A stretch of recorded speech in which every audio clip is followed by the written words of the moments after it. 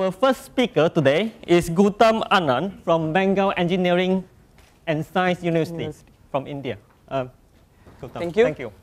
First of all, good morning on not so sunny day of Cambridge. And uh, I am Gautam Anand. I am doing my master's at uh, Bengal Engineering and Science University, Shibpur. Uh, along with me, P. Dey and P. P. Chattopadhyay are from Bengal Engineering and Science University. P. J. J. Kok is from Tata Steel Europe.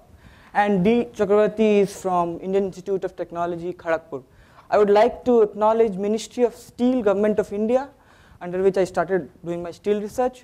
Indian Institute of Metal for providing me partial travel grants. That's why I'm here. So, uh, the uh, topic of my talk is architecture and microstructure in steel. Uh, my research in this area started from my seemingly naive question that what is the best microstructure? Simple question with uh, many possible answers.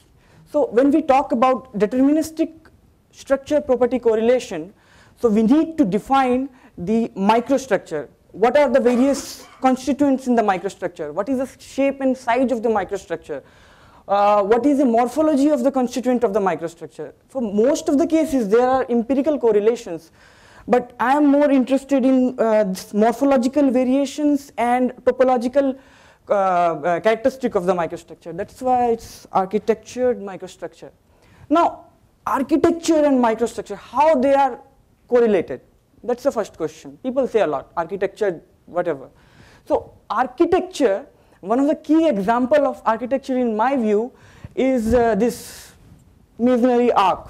Roman did that 2000 years ago and it's a rare engineering feat. It seems very simple, but uh, a specialty of this arc is you have these stones they put in one by one manner and the last stone which is very important is called keystone. It takes the least load but the moment they put the keystone this structure transforms into a pure compressive form.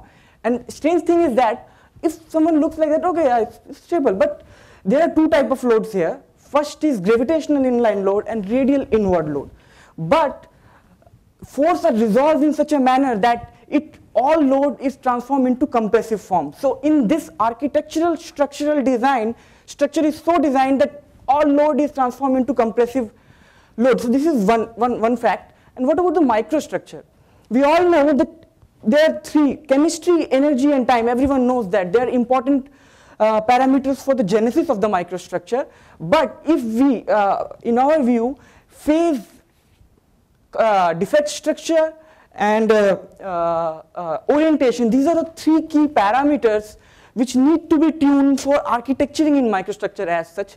Rather, if we, we deal with all six, uh, six parameters, we, we may end up with a uh, architecture microstructure where we are uh, decreasing the development of tensile stress during the loading. So in both of these cases, integration is very important, how the microstructure is integrated. We think microstructure not in the term of evolutionary point of view, but we would like to think it in the term of constructional point of view. So in this part, uh, now we are talking about architecture, so we should have a parameter. We have defined a parameter called order of architecture.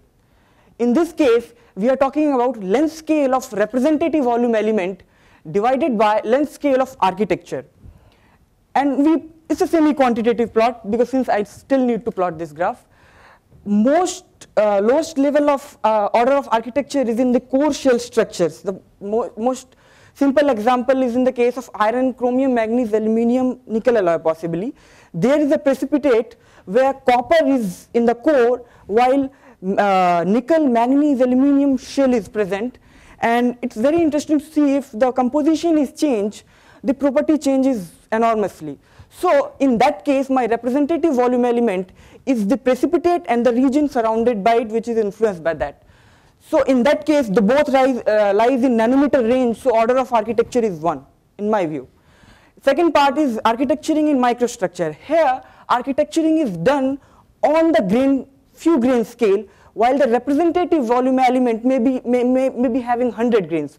So we are having length scale of RVEE is a uh, few hundred micron, while uh, this uh, microstructure may be in the range of tens of microns. So 10, 100 divided by 10, 2, or uh, 10 to the power 2, so the order of architecture is 2. Now, I'm quite interested about this functional composite part. Function, uh, uh, we have written, rather I want to call it functional systems because uh, we, uh, the typical example is a sandwich structure in aerospace application. There is a skin, there is a core, there is again skin, and there are lots of layers. The core architecturing lies in the core structure where they have honeycomb structure or whatever structure it may be. It depends on what is the functionality of the structure. And last is the superstructure. Eiffel Tower is an example, as simple as that. So, it's not working. Oh, sorry. So uh, my work was inspired by this experimental work what uh, our group did back in uh, Besu. So here, what what uh, what happens in a DP steel? Uh, in DP steel, you have uh, you can increase martensite content and you can increase the strength or other properties, but there is a limit up till you can increase that, and that's a serious limitation. If you want to increase the strength, why should we be limited only by the volume fraction? So this is a very innovative work in which the initial structure is, was varied that lead to the variation in the final structure. In this case, it was initial structure was the martensite that lead to this fibrous structure. In this case, initial structure was pearlite that lead to the island type of martensite structure. In this case, it was austenite that lead to the blocky and banded structure of martensite. But important thing is, each case it was intercritically annealed at same temperature for same time to have an equal volume fraction of martensite. And that led to uh, variation in the property of uh, near about 100 MPa, it's substantial in my view. And uh, another important observation from this work was uh, uh, we observed the subsurface of the tensile broken sample and uh, in the case of this sample primarily the rupture started at the martensite-martensite interface while in these two cases, it started at the ferrite martensite interface. So this is one observation which we would use later. And now, what from there, what was my objective? I wanted to architecture a DP steel through micromechanical modeling. So I had a distinct three tasks for this particular uh, work. First is microstructure generation, Second is micromechanical analysis and third is optimization. Now how can I generate a microstructure? There are various methods. Monte Carlo is there, cellular automata is there, but we chose this very interesting technique called Voronoi tessellation. And I did micromechanical analysis by elastoplastic finite element method, simple. Optimization I hope to do by the genetic algorithm.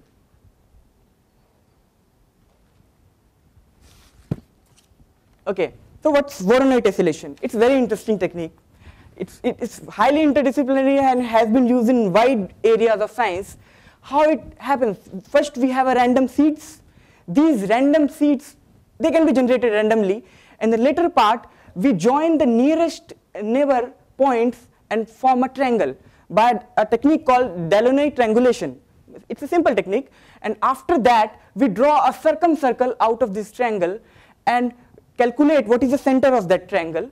And when we got these centers, we joined them. And those form a cell.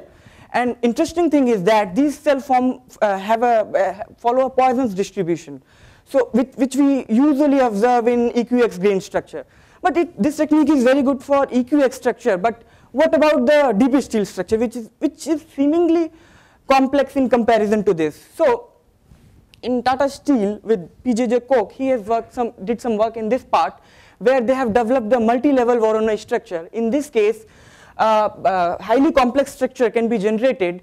Uh, the basic algorithm is first there is a fine level tessellation. By the fine level tessellation, they get these martensite particles.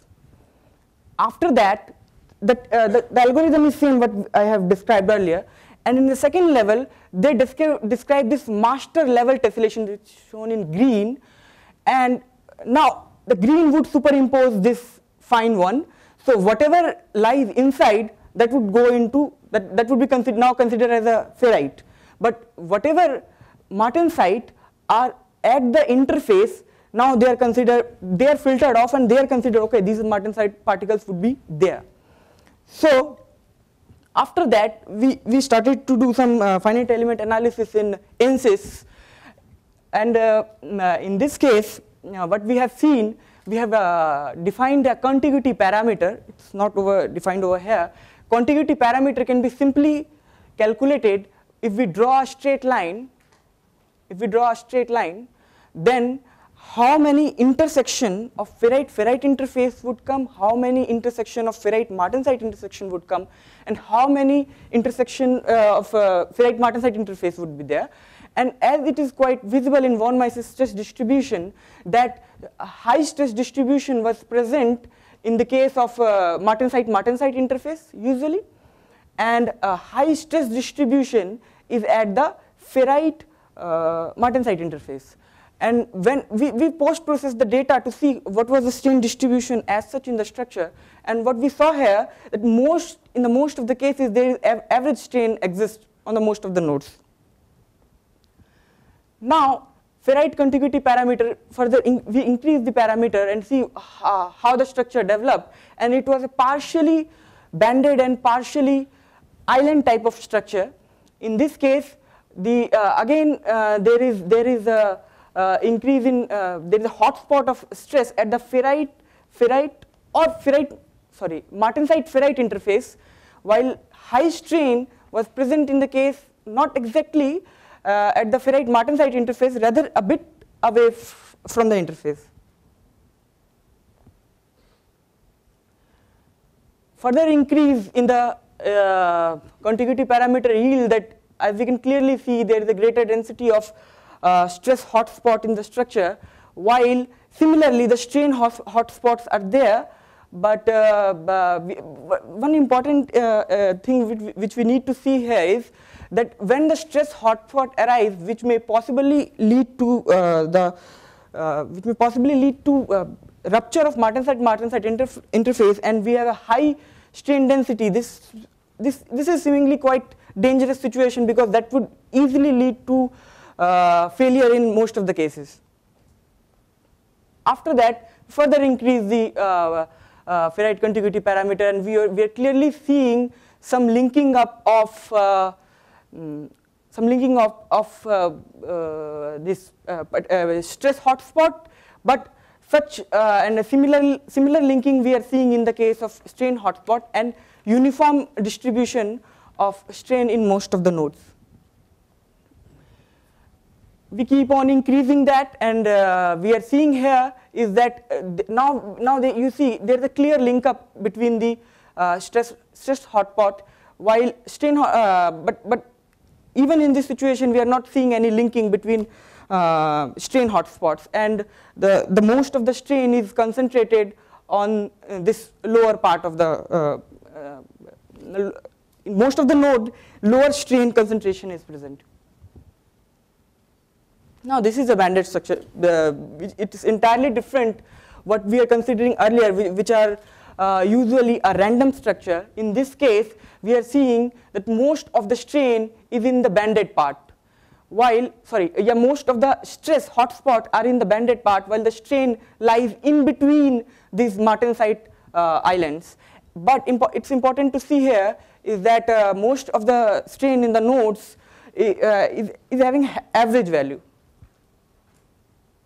Now, this is this is a general observation, and uh, we have uh, it's not included over here, but we have carried uh, we, we we do found one relation between uh, ferrite contiguity parameter and martensite contiguity parameter with the stress and strain hotspot. But there is a problem. This ANSYS data cannot be used for optimization in genetic algorithm. So we need to write our own code uh, for that. And uh, here we have used a six node isostrain linear, linear strain triangle. Uh, uh, and what we are doing here is that we are loading the microstructure from the one end while constraining it from the other side. And we have taken certain assumption where we are considering bilinear material behavior. By bilinear material behavior means that there are two slopes, elastic part and then plastic part. There is no change in the slope during the plastic part. We have considered plane strain loading condition and stress and strain has been calculated at the centroid of the linear strain triangle. Now the elastic part is uh, very easy, very straightforward. One has to do nothing. Simply increase the load. There is a stiffness matrix and we, by Gaussian elimination, we can get the displacement. And from the displacement, there is a constitutive relation. We can get the strain and ultimately we can get the stress.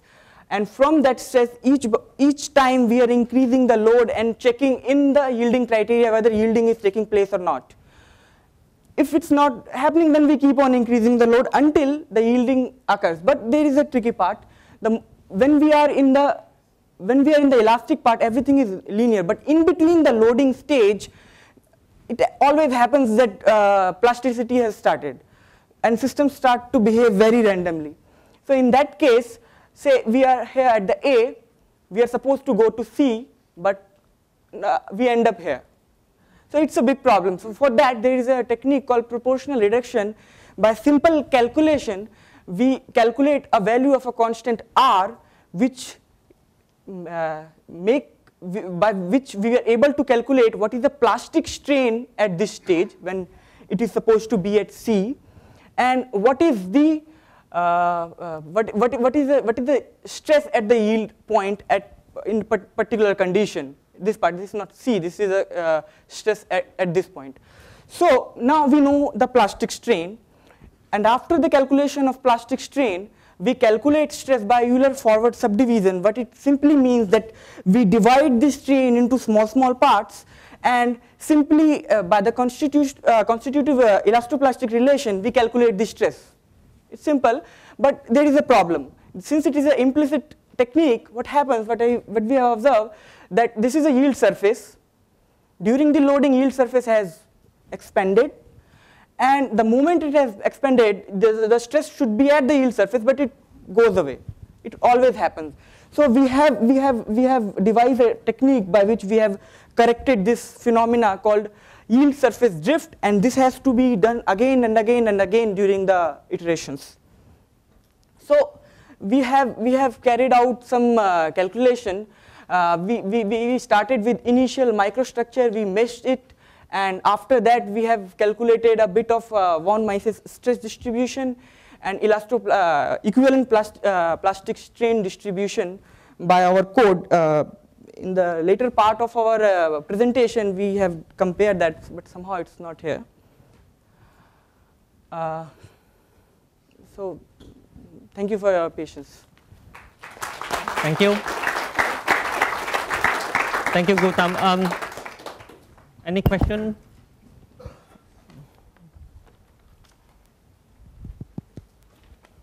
Can I have water?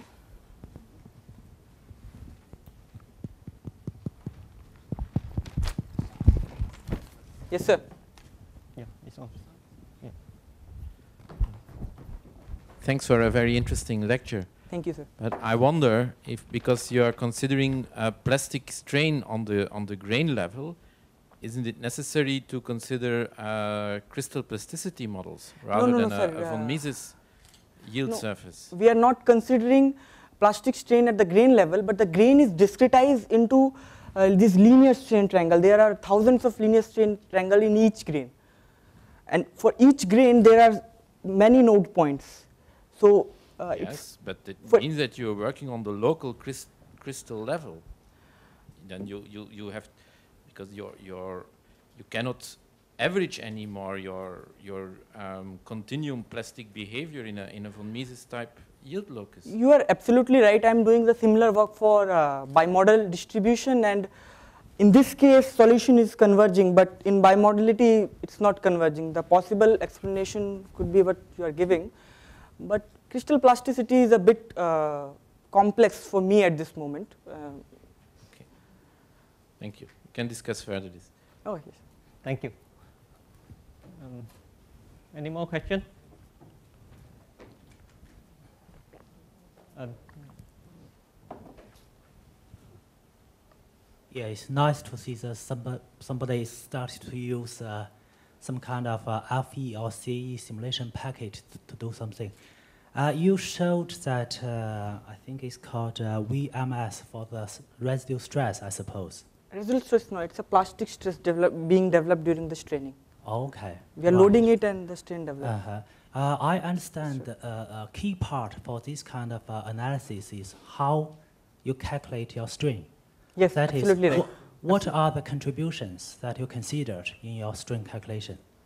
Actually uh, the way I uh, move forward when I'm going into the elastic part it's linear but the moment I went into the plastic part uh, there are there are there are uh, there is elastic And uh, Yeah, I, yeah, I, I saw yeah, that part. Yeah, uh, when the elastoplastic transition take place, I use this uh, constant R to, to have that, okay, this is, this is, this is the plastic uh, strain.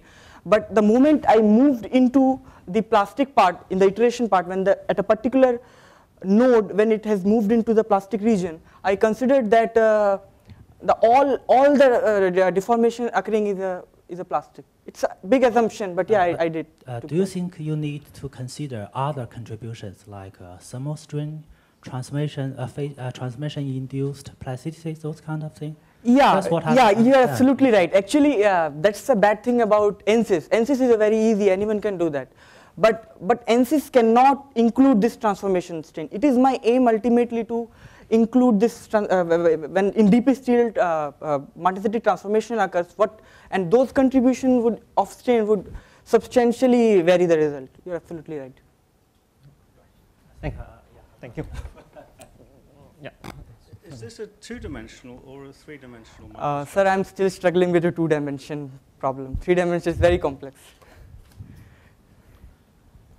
Two quick questions. Yes, sir. Um, One has to do with the objective function Yes, that sir. you are minimizing or maximizing. Yes, sir.